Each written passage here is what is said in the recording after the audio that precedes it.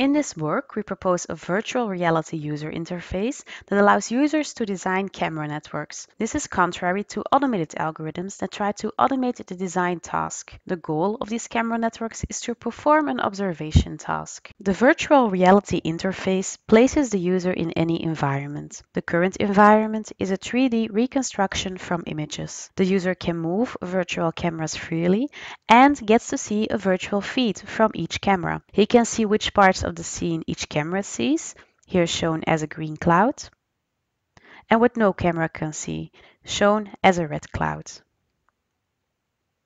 Finally, the user can change his scale relative to the environment to get the optimal perspective for the design task. The goal of camera network design is to position a set of cameras so that every part of the scene is visible. In specialized examples, there are more complicated performance metrics for camera networks. The visible colors display a more complicated quality function. The traditional workflow of automated network design starts with the discretization and cost function design step that needs to be iteratively refined. Both steps require expert and domain knowledge. We propose a simpler workflow where the computer visualizes the problem and the user improves the camera configuration by interacting with the virtual environment. In this work, we show that the advantage of automated algorithms, that computers are better at solving the problem, is severely limited by the mathematical complexity of the problem. Our experiments also show that humans are better at solving this task than expected when their perception is enhanced by a virtualization of the problem. The reason for using our workflow is that anybody can use it and it's more flexible.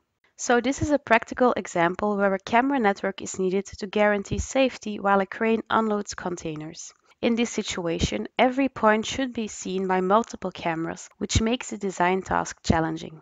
Now, in our experiments, the camera network designed by automated algorithms score on average 11% better than user-generated solutions using our interface. If we compare both solutions, we see that the user-generated solution focuses many cameras on high-risk areas, and that the automated algorithms focus many cameras on lower-risk, high-volume areas.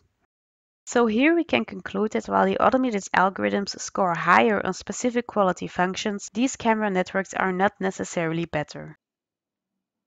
To evaluate the quality of user-specified solutions on simpler problems, we let five users with no prior experience in designing camera networks design a camera network.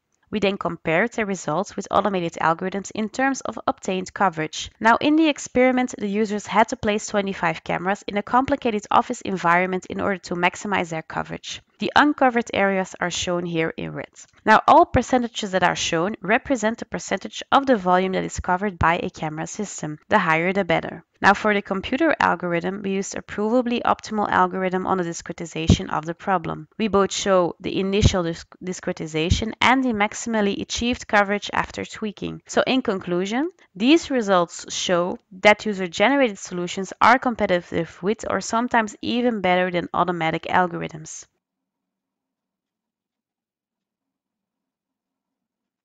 Finally, we would like to thank you for your attention and if you want to know more, please read the full paper.